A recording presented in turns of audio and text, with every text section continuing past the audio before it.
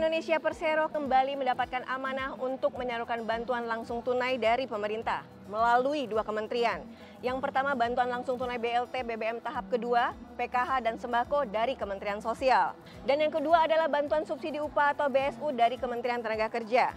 Namun yang menarik dari digulirkannya BLT yang diproyeksikan untuk mengurangi beban ekonomi warga, imbas dari pengurangan subsidi BBM adalah yang berasal dari anggaran pemerintah daerah.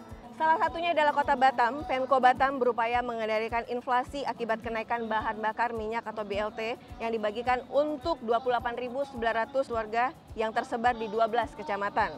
Salah satunya adalah Kota Batam. Pemko Batam berupaya mengendalikan inflasi akibat kenaikan bahan bakar minyak. BLT dibagikan untuk 28.990 warga yang tersebar di 12 kecamatan. Tentu menarik untuk mengulas bagaimana BLT dari pemerintah daerah yang bersumber dari dana daerah ini. Bersama saya saat ini ada Direktur Bisnis Jasa Keuangan PT Pos Indonesia, Bapak Haris. Salam sehat, Bapak. Iya, dan tentunya Bapak Wali Kota Batam, Bapak Muhammad Rudi. Assalamualaikum. Waalaikumsalam warahmatullahi wabarakatuh. Salam sehat, Bapak. Sehat selalu. Sehat selalu. Iya, hari ini kita ada di Kota Batam. Nah, uh, mengenai bantuan uh, yang disalurkan oleh pemerintah daerah, saya ke PT Pos Indonesia dulu dengan Pak Haris ya Pak. Pak, uh, seperti kita ketahui bahwa uh, PT Pos Indonesia ini diberi amanah uh, ada dari dua kementerian itu untuk menyalurkan bantuan. Pertama dari Kementerian Sosial dan juga dari Kementerian uh, Tenaga Kerja. Nah, uh, di saat ini juga PT Pos Indonesia diberi amanah untuk menyalurkan BLT daerah. Seperti apa Pak mekanisme dan proses penyalurannya dan seperti apa bantuannya itu Pak? Baik, terima kasih Pak Rudi yang saya hormati pemirsa. Jadi pertama sekali kami menyampaikan ucapan terima kasih kepada Pak Rudi khususnya jajaran Pemko Batam yang telah memberikan amanah kepada PT Pos Indonesia untuk menyalurkan BLT daerah ini.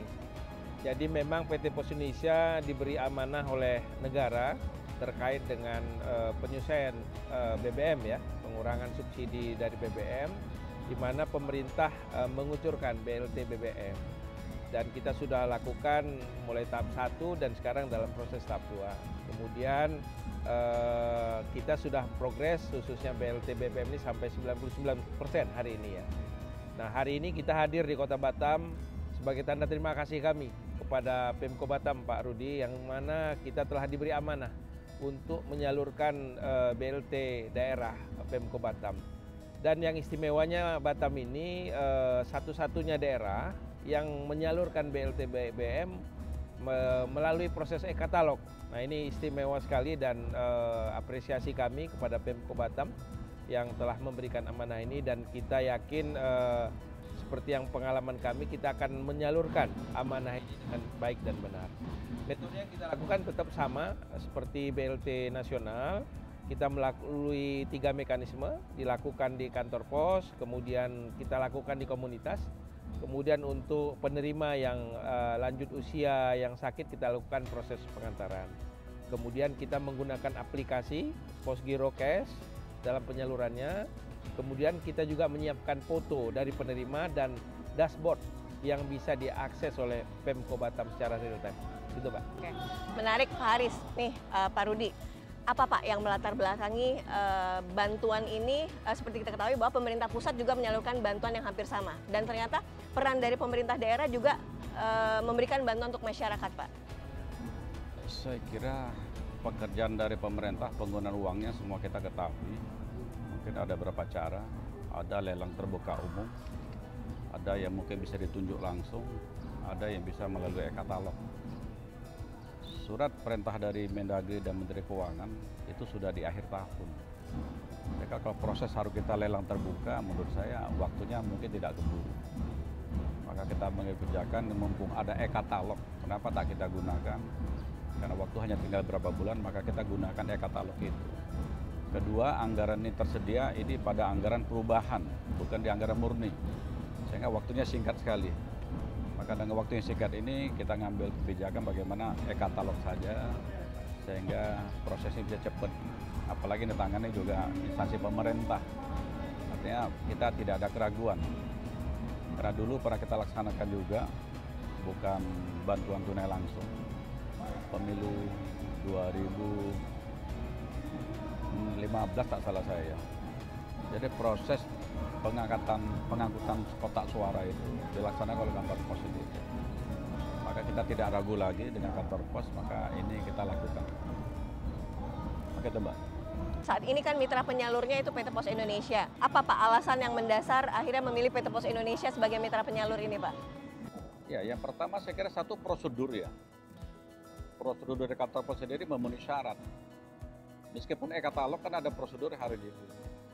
Kan tidak hanya kantor pos saja, saya kira ada beberapa perusahaan, yaitu termasuk BUMN ini masuk ke kita. Karena ini milik negara, syaratnya lengkap, dan kinerjanya tadi sudah saya sampaikan, peran mereka lakukan pada 2015 lalu. Hasilnya positif sekali, dan hari ini kita berharap waktu singkat juga terdapat hasil yang positif. Karena kalau dulu biasanya kita kerja sendiri, kita tidak berikan kepada umum, karena waktunya panjang waktu itu. Tapi hari ini sepertinya nggak bisa. Kita takut juga ada masalah hukum, karena ada petunjuk dari pusat bahwa kantor pos juga boleh, kenapa tidak kita kasih? Saya kata Intinya kita ingin prosesnya selesai, pegawai saya aman damai, tidak ada urusan dengan hukum. Pak Haris ya Pak ya. Pak menarik tadi uh, apresiasi dari uh, Pak Wali Kota gitu bahwa memang sistem yang uh, dipunya oleh PT Pos Indonesia khususnya untuk penyaluran uh, BLT daerah ini memang ada poin-poin yang menjadi andalan. Nah, seperti apa Pak menjaga amanah ini, menjaga kepercayaan dalam rentan waktu yang cukup pendek Pak? Ya, diberi amanah oleh negara kebetulan sejak terjadinya Covid ya 2020 dan kita dari PT Pos Indonesia sebagai BUMN kemudian pemberi kerja juga Kemensos sama-sama kita akan pada waktunya diperiksa nih oleh BPK gitu. Karena itu faktor yang penting menurut kami adalah masalah akuntabilitas. Nah karena itu kami menyiapkan sistem dan aplikasi bagaimana supaya penyaluran ini bisa transparan. Nah, karena itu ini menyangkut uang negara ya, satu rupiah pun harus kami pertanggungjawabkan. Karena itu dari awal kami sudah menyiapkan aplikasi yang kami sebut namanya Posgiro Cash ini di mana nanti prosesnya lebih mudah ya bagi masyarakat. Masyarakat cukup datang ke kantor pos atau kita datang ke komunitas, kemudian dengan menggunakan aplikasi handphone kita scan QR code-nya, di sana akan keluar data dan kita bisa memvalidasi. Jadi kuncinya kita bisa memvalidasi kebenaran dari penerima ini. Kemudian setelah itu tadi pemberi kerja dalam hal ini apakah Pemko Batam, kemudian pemerintah itu bisa mengakses dashboard ini. Jadi bisa progres dari penyaluran ini secara real time. Seperti apa progresnya. Jadi uh, kuncinya mungkin tadi kami sebagai penerima amanah ini bagaimana kami bisa melaksanakan amanah ini dengan benar dan dipertanggungjawabkan. Itu mungkin poinnya. Pak Haris dan Pak Rudi menarik bahwa memang menjaga amanah, akuntabilitas juga perlu diiniin. Tapi uh, obrolan ini uh, kita akan lanjut setelah segmen berikutnya. Pemirsa kita akan kembali setelah yang satu ini.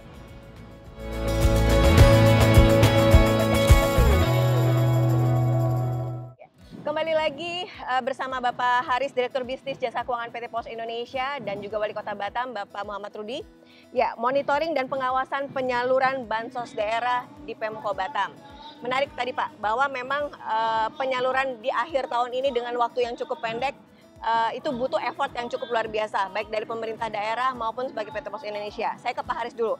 Bagaimana uh, Pos Indonesia memonitoring program ini hingga DNA POS untuk di fund distribution itu menjadi hal yang baik, Pak? Baik. Jadi kita memang setiap hari melakukan monitoring, Pak. Jadi setiap detik seperti yang saya sampaikan tadi, kita punya dashboard untuk kepentingan eksternal, kemudian di internal juga kita melakukan itu.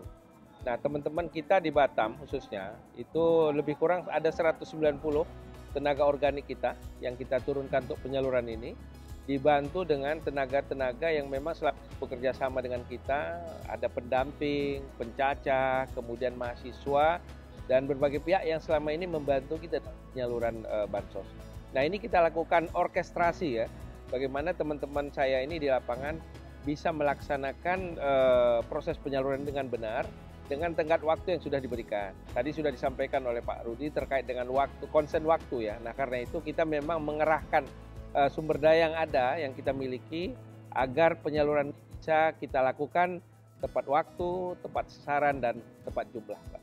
Oke, saya ke Pak Rudi. Pak, Dari, uh, Pak Rudi, eh, uh, butuh kolaborasi, butuh monitoring juga. Nah, seperti apa Pemko uh, Batam melakukan pengawasan monitoringnya, Pak? Ya, saya kira yang pertama kita kerjasama dengan kejaksaan. Ini dari sisi pengawasan keuangan sendiri. Beberapa data yang kita berikan, berapa mereka terima. Sebelum kita tetapkan data penerima ini, tentu kita minta data awal daripada kantor BPS Kota Batam. Data diberikan cukup banyak sekali, hampir 54.670 kepala keluarga. Ini adalah data penerima bagi saudara-saudara kita yang tidak mampu Kota Batam. Ini sudah terdata? Sudah. Tapi ada kebijakan dari pusat bahwa yang maaf sudah menerima bantuan dari pusat, maka tidak kita berikan lagi. Maka kita verifikasi kembali data yang 54.670 ini dapatlah data kita lebih kurang 28.990 dan inilah kita serahkan ke Pak PT Pos. Sesuai dengan anggaran telah kita anggarkan anggaran kita hampir 17 miliar 891 juta 522 rupiah. Ini anggaran kita masukkan pada perubahan APBD karena kita tidak tahu penerima sebenarnya data yang kita ambil awalnya adalah data jumlah dari BPS tapi setelah kita verifikasi ke lapangan, yang kita temui hanya, bukan temui, yang boleh kita berikan lebih kurang 28.990 itu sendiri. Tentu data yang sejumlah ini pengawasan tidak bisa hanya kami aja. Sesuai dengan yang Batam Pos sampaikan, ada dashboard yang bisa kita lihat. Karena penerima ini, ini tidak bisa langsung hilang. Ini data ini harus dipertanggungjawabkan sampai 10 tahun. Ya.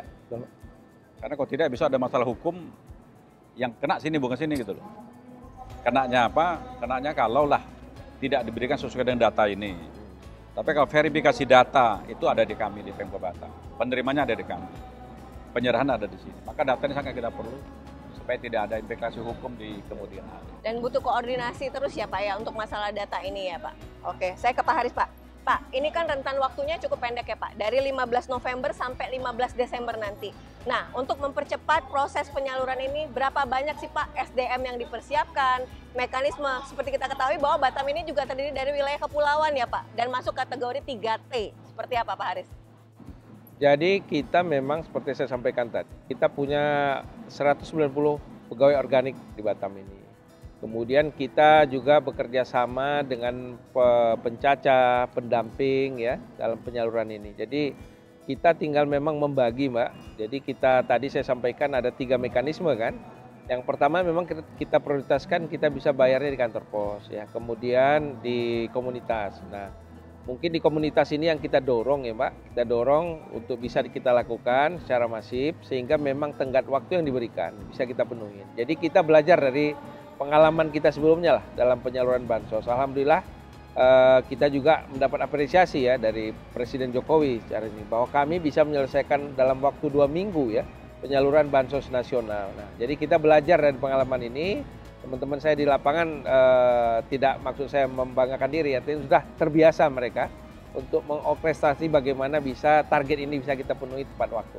Oke, masalah target nih Pak Wali bahwa memang kan rentan waktunya uh, bisa dibilang satu bulan ya Pak ya di penghujung tahun. Nah, realisasi yang saat ini sudah disalurkan Pos Indonesia seperti apa Pak?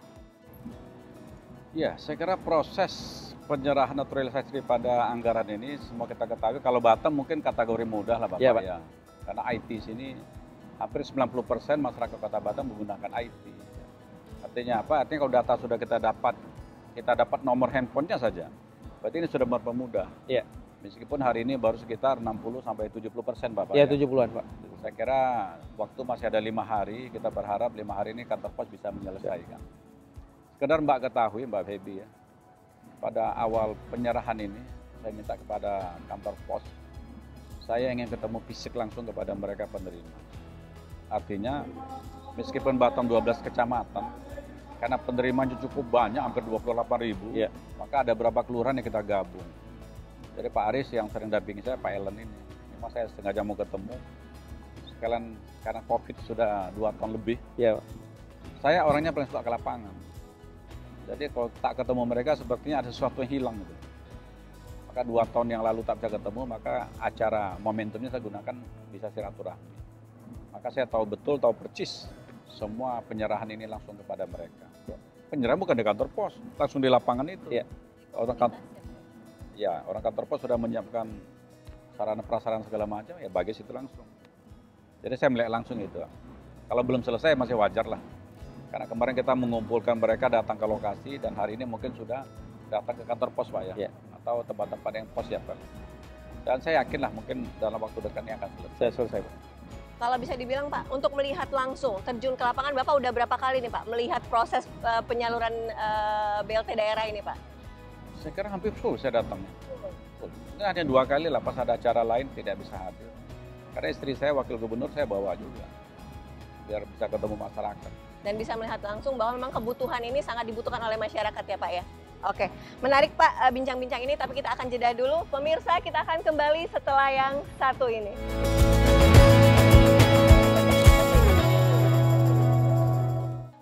Mungkin tidak terpencil dan tertinggal, namun sebaliknya menjadi sangat strategis karena menjadi wilayah terdepan atau beranda negeri.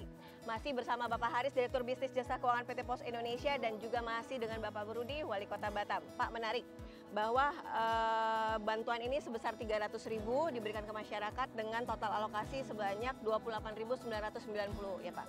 Nah, eh, wilayah Batam ini kan eh, sebagai wilayah terdepan ya Pak, berbatasan dengan eh, negara eh, luar Pak. Nah, seperti apa Pak Pos Indonesia menyalurkan bantuan ini, mekanismenya seperti apa dan targetnya keseluruhan itu seperti apa Pak Haris? Baik, terima kasih Mbak Febri. Jadi memang dalam proses awal kita kan setelah data kita terima, kita lakukan mapping ya Mbak. Kita lakukan mapping dengan eh, posisi kantor kita. Ya, jadi nah ada beberapa kantor kita seperti yang Mbak sampaikan tadi ada yang terdepan ya. Jadi kita mappingkan data yang kita terima ini dan setelah kita tahu berapa jumlah alokasi untuk daerah tersebut, kita lakukan koordinasi kan Mbak, koordinasi. Jadi memang saya pikir dari yang eh, laporan kita dapatkan tidak begitu terlalu sulit lah teman-teman di lapangan ya karena memang seperti disampaikan Pak Rudi tadi walau memang ini kepulauan tapi eh, mudah eh, secara umum dijangkau dari eh, untuk 12 kecamatan tadi. Jadi kita memang mengatur bagaimana teman-teman saya di lapangan mengalokasikan waktu tertentu di mana nanti masyarakat kita kumpulkan dan kita yang datang ke sana untuk menyalurkan eh, bantuan ini. Yang jelas memang dalam proses penyaluran ini kita terus berkoordinasi dengan perangkat desa ya, perangkat desa, perangkat kelurahan untuk menghadirkan para penerima ini. Sehingga memang tadi kaitan dengan eh, kendala eh, jarak, waktu dan sebagainya ini bisa kita atasi. Iya. Oke, saya ke Pak Rudi. Pak Rudi, eh, tadi kan di awal Bapak juga sempat sampaikan bahwa penyaluran bantuan ini masuk di e-katalog Pak. Nah ini kan bisa jadi eh, pilot project untuk daerah-daerah lain Pak. Seperti apa sih Pak eh, menjadi bagian eh, penyaluran bantuan tapi eh, dengan segala apa yang dilakukan oleh Bapak ke depan? Saya kira ya katalognya sudah lama ya. Zamannya Pak Jokowi, hampir semua kegiatan yang bisa e-katalog semua kita diperintahkan melalui e-katalog. Contoh dulu kendaraan pakai lelang, tapi setelah beliau semua di e-katalog sehingga tidak tidak mengganggu proses lelang itu. Kota Batam semua kita ketahui memang satu pulau besarnya ada di Pulau Batam. Tapi kalau Batam Rempang Galang ini pulau kita hampir 280. Meskipun pulau kita banyak, tapi tersentralisasi untuk tiga kecamatan ini. Kecamatan Hinterland ini ada di belakang Padang, ada di Bulang, dan ada di Galang. Kita bukan, mungkin Mbak bayangkan bilang pulau berarti orang kantor ini ke pulau sana, tidak. Jadi kita sudah biasa ketemu, biasa mereka di titik-titik simpul yang terpadat itu yang kita tarik. Contoh, kemarin yang kita undang misalnya di Galang, kita tarik dia ke kecamatan. Berapa jumlah orang yang mau kita berikan sesuai data, datang semua mereka. Kegiatan kita bukan tunggal hanya BLT, biasa kita padukan dengan yang lain. Karena saya banyak memberikan insentif juga, tidak hanya BLT ini aja. BLT bagi mereka yang tidak mampu, tapi insentif lain seperti RT RW kita berikan juga. Kalau ini sudah lama dari saya wakil wali kota, ini sudah saya bantu. Kepada para ulama kita berikan juga, pada guru-guru di bawah Kementerian Agama ataupun di bawah Pemko ataupun di pusat kita berikan juga. Kader posyandu pun kita berikan juga mbak. Pendeta pun kita berikan juga. Intinya titik-titik simpulnya sudah dari dulu kita siapkan sehingga Batam tidak akan terlalu sulit gitu. Batam hanya tiga hinterland aja, main lainnya ada sembilan. Makanya proses ini saya anggapan ini akan selesai tidak terlalu lama lagi. Yang kedua, tadi jumlah orang Batam atau masyarakat Batam ini hampir 1,3 juta. Ini perlu saya jelasin ini. Penduduk asli sini sekitar paling 20 persen aja. Selainnya pendatang, ya Kalau kita ke daerah lain, orang miskinnya ini ini akan berkurang. Kalau di Batam ini tidak akan berkurang. Kenapa? Karena yang datang rata-rata maaf, yang punya skill tak sampai, kalau datang 100% kita anggap, yang punya skill nggak sampai 5-6 persen.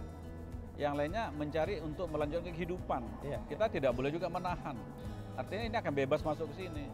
Sehingga jumlah orang miskin kategori tidak mampu yang di bawah pendapatan 755 ribu, kalau tak salah saya mbak ya, ini tiap tahun akan bertambah ini, apalagi zaman covid. Dan ini harus kami tangani, karena hari ini KTP kan mudah nih, Iya. merubah alamat saja sudah jadi warga saya. Berarti sudah pindah tanggung jawab dari bupati atau wali kota sana ke saya. iya, artinya ini sangat berisiko juga. Kalau berisiko tentu tidak bisa kata tangan sendiri. Tapi saya bersyukur COVID hilang, ekonomi Batam malah bangkit. Ya mudah-mudahan saya menghimbau lah, tapi tidak ada salahnya juga ya. Pusat agar tetap memperhatikan kita, bantu kepada kita, karena penduduk sini cukup banyak yang perlu kita atensi supaya permasalahan ekonomi bisa kita selesaikan lebih cepat lagi. Pak Haris, Presiden Jokowi sudah mengapresiasi kinerja PT Pos Indonesia dengan datang ke kantor pos langsung 12 kali. Nah, apa harapan Bapak dengan kolaborasinya PT Pos Indonesia dengan pemerintah Kota Batam, khususnya dengan Pak Rudi yang sudah menginisiasi program BLT daerah ini, Pak? Baik, terima kasih Pak Febri. Jadi gini, memang apresiasi dari pemerintah ini pertama kita ucapan terima kasih lah kepada Pak Jokowi yang memberikan perhatian yang menurut saya lebih ya, sampai 12 kali datang ke kantor pos ya. Tapi apresiasi ini tentunya tidak membuat kami jumawa ya. Kami terus memperbaiki diri ya, terus berusaha bagaimana agar amanah ini betul-betul bisa kami pertanggungjawabkan. Nah, terkait dengan pemerintah Kota Batam tentunya seperti tadi juga harapan Pak Rudi kami juga supaya bisa segera menyelesaikan tugas yang mulia ini dalam waktu yang sudah kami janjikan dan kita berharap mudah-mudahan kerjasama ini tidak berhenti sampai di sini. Jadi tidak hanya untuk sekedar penyaluran bantuan. Kami sebagai bagian ya, teman-teman saya bagian dari pemerintah Kota Batam yang hadir di Batam ini tentunya kita ingin membantu ya, membantu dan sesuai dengan misi kita ikut mencerdaskan kehidupan bangsa. Dan dengan peran dan fungsi kami sebagai kantor pos, kita akan terus berupaya bersinergi lah dengan pemangku kepentingan termasuk dengan Pemko Batam. Ya, saya ke Pak Rudi terakhir Pak. Apa harapan Pak dengan adanya kolaborasi dengan PT Pos Indonesia? Apakah ada eh, kegiatan-kegiatan lain atau penyaluran bantuan-bantuan lain yang bisa dikolaborasikan dengan PT Pos Indonesia Pak? Ya, saya kira sesuatu perbuatan yang baik pasti semua orang akan melihat. Apalagi ini pemerintah antara pos dengan Pemko Batam. Karena kegiatan kita banyak sekali. Hampir 50% dari APBD kita pasti akan digunakan untuk kepentingan umum. Membangun fisik, menghibah. Tadi saya sampaikan ada beberapa item yang kita hibahkan. Hari ini masih dikerjakan oleh kita sendiri. Ya, kalau satu waktu ini sempurna, kenapa tidak kita berikan? Ada satu lagi yang saya anggarkan tentang bagian sembako murah. Kalau sembako murah ini mungkin ada kendala karena kita jual murah. Kalau diserahkan pada pos, nanti kita cari bagaimana cara penyelesaian uang yang diterima ini. Kita anggarkan setiap tahun bisa sampai 100 ribu, bisa sampai 194 ribu untuk kepala keluarga. Tapi ini sembako murah. Sembako murah ini siapa saja boleh sebetulnya. Tak mungkin orang kaya mau beli juga kan gitu ya kita serahkan aja ke pihak ketiga lah. Saya kira lebih aman, lebih kondusif. Oke, bahwa ini sebenarnya justru dari pemerintah daerah yang disalurkan oleh PT Pos Indonesia. Ya, Pak Rudi, terima kasih. Pak Rudi, eh, terima kasih juga Pak Haris. Pemirsa, demikian bincang-bincang kita pada hari ini. Sampai jumpa di bincang-bincang berikutnya.